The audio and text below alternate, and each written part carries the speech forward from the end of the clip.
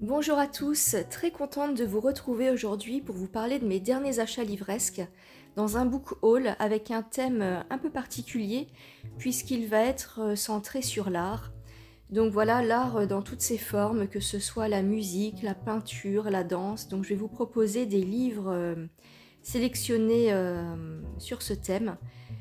Et donc, on commence tout de suite avec une petite tisane à la mauve. C'est un produit que je vous avais présenté dans une précédente vidéo, mais j'ai l'impression que cette plante-ci est de meilleure qualité puisque ses fleurs sont un peu plus foncées, elles sont violet euh, très foncé. Et je vais accompagner aussi ma préparation d'un miel d'eucalyptus. En ce moment, j'ai un petit peu, euh, je tousse beaucoup, j'ai des maux de gorge, donc euh, l'association des deux est parfaite. Je vous laisse lire les bienfaits du miel d'eucalyptus. Alors l'idéal, c'est de le mettre euh, dans la préparation au moment où l'eau est tiède. Là, vous allez voir que je l'ai mis un peu trop tôt. Euh, donc ça a tendance un petit peu à, enlever les vertus euh, du produit. Donc je vous conseille de le mettre un peu plus tard. C'est un miel assez crémeux. Vous voyez, il est dur à... Il n'est pas très fluide. Mais il est délicieux. Donc, donc voilà, parfait si vous avez un rhume. Et une toux. Voilà. C'est dommage qu'à travers votre écran, vous ne puissiez pas sentir l'odeur de cette bougie, elle est absolument euh, divine. Il s'agit de la Yankee Candle Mur Sauvage. Si euh, vous voulez embaumer euh, votre appartement d'une odeur absolument délicieuse, je vous la conseille.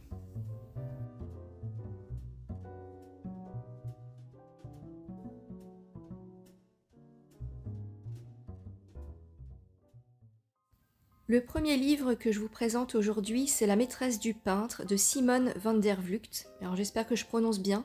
C'est une autrice néerlandaise née en 1966 et elle écrit euh, pas mal de romans historiques. Vous connaissez peut-être Neige rouge. Donc voilà, euh, dans ce livre, on s'intéresse au peintre Rembrandt qui a vécu au XVIIe siècle aux Pays-Bas. Et il paraît que c'est une histoire vraie, donc euh, ça va tourner autour de ses relations amoureuses, et notamment d'une relation qu'il aurait entretenue avec euh, l'une de ses, de ses servantes, si on peut dire. C'était la nourrice de son fils, et euh, donc une relation interdite pour l'époque, puisqu'il n'était pas marié. Et on va retrouver apparemment au début du livre cette femme qui a été emprisonnée dans une sorte de camp de redressement et on va euh, suivre un petit peu euh, ses pensées, ses, émotions, ses ressentis. Et euh, je ne veux pas dire de bêtises, mais je pense ou je crois que c'est Rembrandt qui l'aurait dénoncé. Donc elle se serait retrouvée enfermée à la suite de dénonciations de la part de son ancien amant. Donc voilà, ça a l'air intéressant. et puis même d'un point de vue artistique, puisque Rembrandt était vraiment un peintre euh, de génie, un peintre prodige, qui a réalisé vraiment euh, énormément de, peintures, de dessins, de gravures. Son œuvre est très prolifique et il est connu aussi pour sa technique du clair-obscur. Donc je pense que d'un point de vue euh, historique et, et artistique, ce livre peut être très intéressant.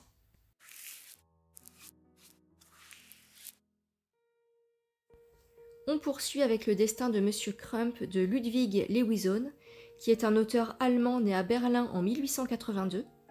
Lorsqu'il a écrit ce livre, aucune maison d'édition ne voulait le publier, et il a été publié en France en 1931 et seulement 16 ans plus tard aux États-Unis, dans une version épurée. Alors je ne sais pas du tout ce qui peut choquer à l'intérieur de ce livre, la meilleure façon de le savoir est de le lire, mais en tout cas, euh, il y a des passages apparemment qui ont été euh, effacés dans sa version euh, américaine, puisqu'il est apparemment choquant. Donc voilà, je ne peux pas vous en dire plus, je n'en sais pas davantage. En tout cas, tout ce que je peux vous dire, c'est que c'est l'histoire d'un brillant musicien à qui l'avenir sourit et qui est destiné à une brillante carrière. Mais une femme malveillante va faire irruption dans sa vie et va venir tout gâcher, tout casser.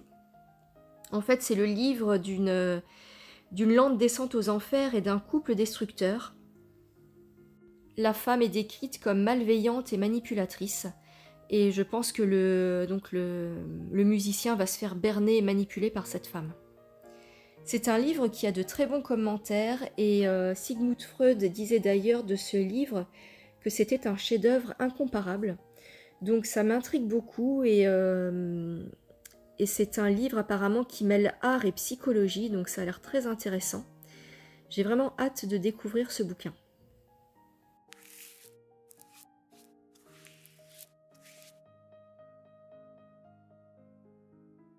Le Turquetto de Metin Arditi.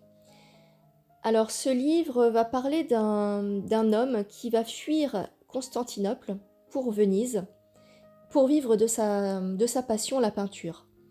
En fait, c'est un jeune juif qui, euh, qui est né dans une famille pauvre, mais qui est passionné de peinture et qui fait des représentations bibliques. Mais euh, sa religion, donc, euh, comme il est juif, lui interdit de, faire des représentations humaines et notamment bibliques. Et donc, il doit fuir pour vivre de sa passion. On est au XVIe siècle pendant la, Renaissance et on va le suivre en Italie, euh, où il va peindre sous un nom d'emprunt. Euh, et, donc il va vivre comme ça de sa passion euh, aux côtés des plus grands peintres de l'époque. Mais un jour il va se faire dénoncer parce qu'il ne, dévoile jamais sa véritable identité et il va se retrouver devant les tribunaux. Donc voilà, les thèmes abordés dans ce livre sont la quête d'identité, la filiation, la religion et les rapports entre l'art et le pouvoir. Donc voilà, ça a l'air assez intéressant. Euh, il fait moins de 300 pages. Euh, donc je vais voir si je peux le lire euh, dans les mois à venir. Je vous en reparlerai.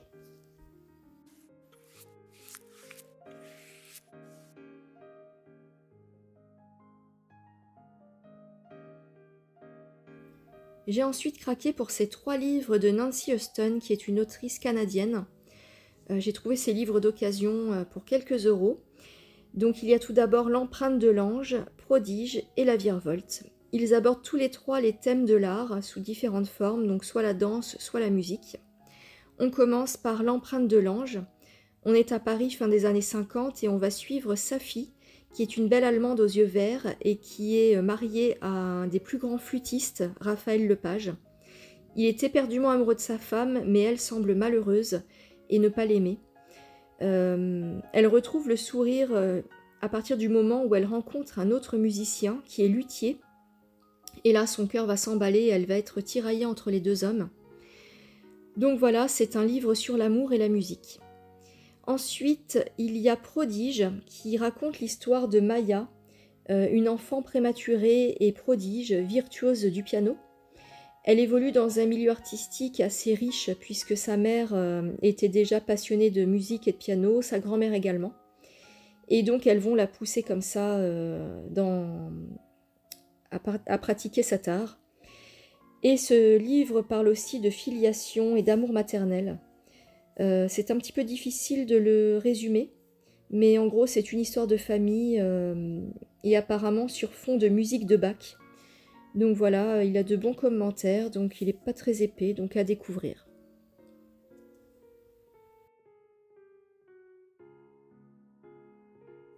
Et le troisième livre, c'est La Virevolte. Donc là, on va suivre l'histoire d'une passion dévorante qui piétine un petit peu sur la vie quotidienne. C'est l'histoire d'une mère de famille qui a deux enfants, un mari, et euh, qui voue à la danse euh, une passion euh, dévorante au point que ça va venir un petit peu entacher et empiéter sur son bonheur familial. Donc elle va être face à un dilemme.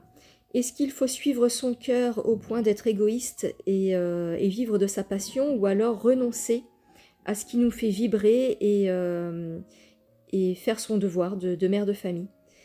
Donc voilà, euh, ça a l'air assez intéressant. Ces trois petits bouquins m'enchantent bien. Dites-moi en commentaire si vous connaissez cette autrice et si euh, vous connaissez l'un de ces trois livres par exemple. Ça m'intéresse.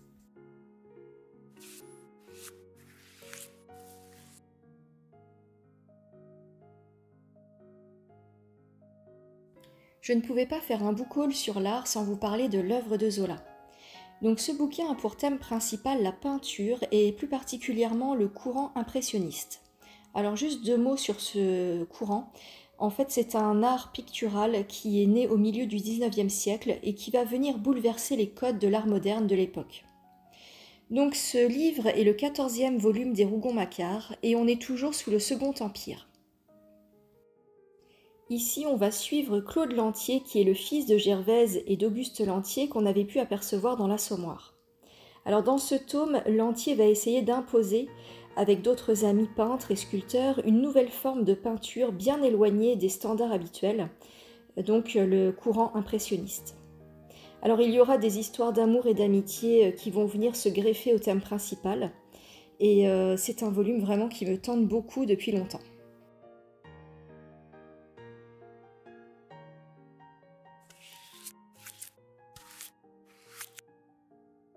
Je vous parle ensuite des Récits de l'exil, volume 1 de Nina Berberova.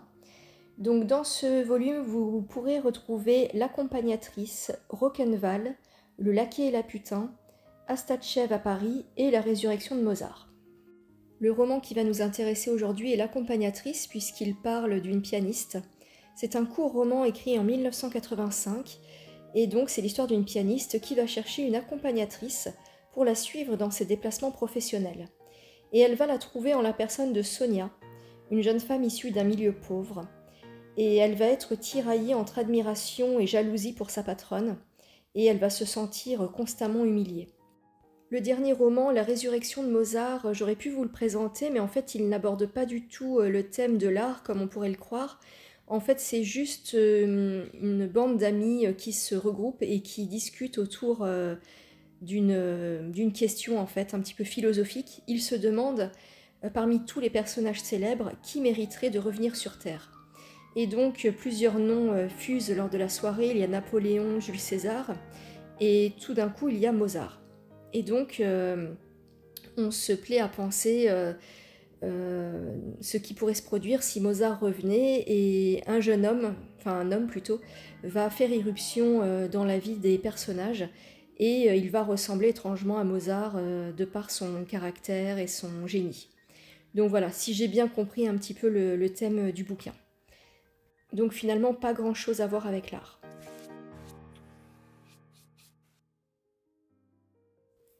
Il donnait ses leçons pour vivre, et parfois, lorsque ses doigts ne supportaient plus les efforts violents et cruels, il lisait pour se reposer, tout à tort et à travers.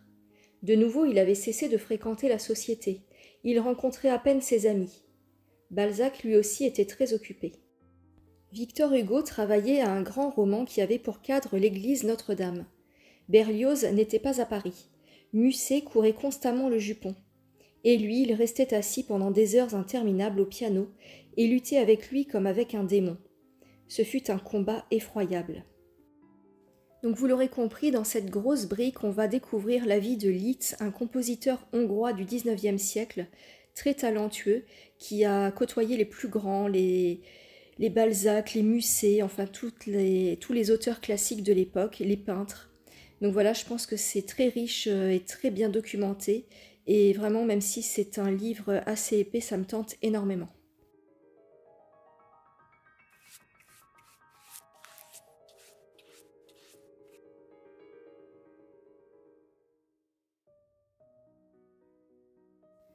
Poursuit avec la danse sacrale de Carpentier.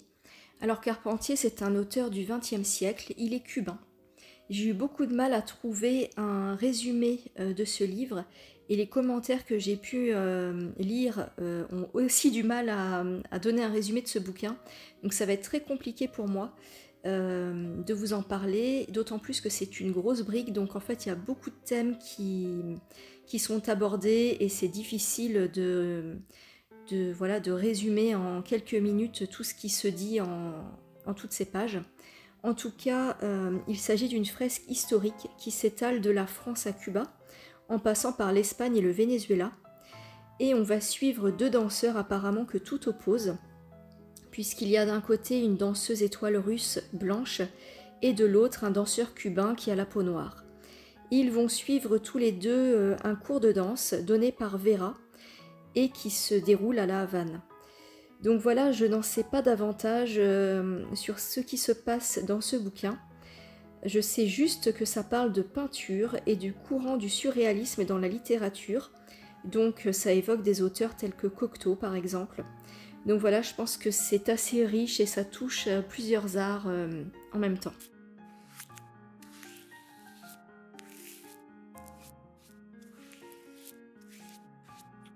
L'oratorio de Noël de Goran Tunstrom, qui est un auteur suédois. Alors je ne sais pas du tout si je suis hors sujet en vous proposant ce livre, parce que euh, est-ce qu'il rentre vraiment dans le thème de l'art? Euh, C'est une question que je me pose. En fait, c'est l'histoire d'une soprano qui est en route pour la représentation de l'oratorio de Noël. Donc c'est un chant lyrique et dramatique, mais elle va mourir dans un accident. Elle va être piétinée par les vaches de son mari.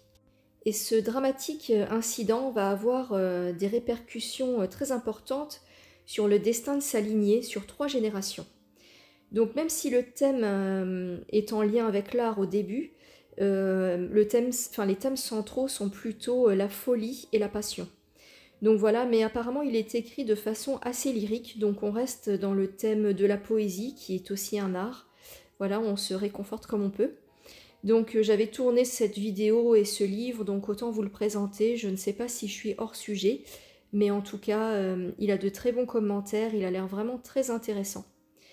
Donc voilà, cette sélection de livres sur l'art est maintenant terminée. J'espère qu'elle vous aura plu et vous aura donné des idées de lecture.